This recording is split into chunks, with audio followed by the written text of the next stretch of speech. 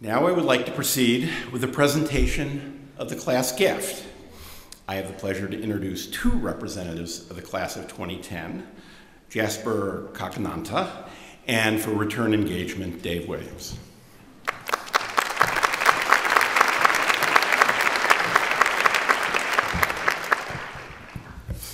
Thank you, Dean Fitts.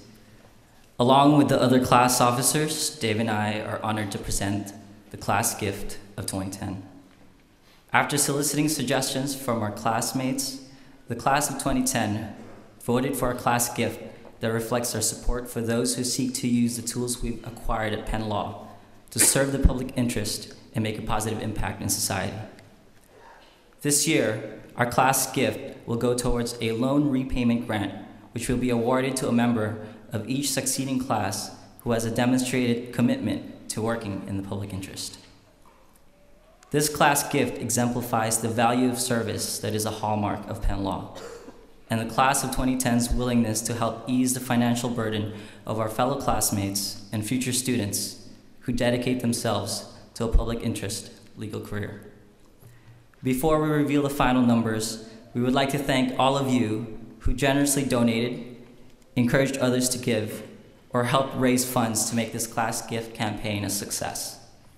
Special thanks and mad props go out to Dean Fitts, Dean Clinton, the Penn Law faculty, the Development and Alumni Relations Office, and the Class Gift Committee for their contributions and assistance throughout this year. The final results for the class of 2010 gift were impressive. This year, we achieved a final total participation rate of 68%. Breaking it down by sections, Section 1 had a 52% participation rate, Section 2 had a 62% participation rate, and Section 3, my section, had the highest participation rate of 76%.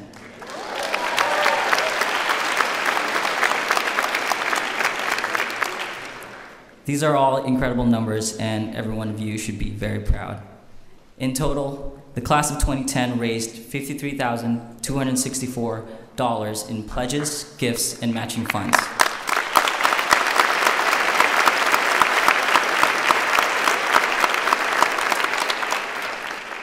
This sum represents an 8% increase from the pre previous year's class gift, which is a clear indication that despite a difficult economy, our commitment to give back to a greater good, and the spirit of generosity embodied in this class would not be broken.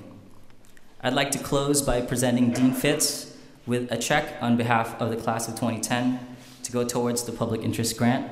Dave?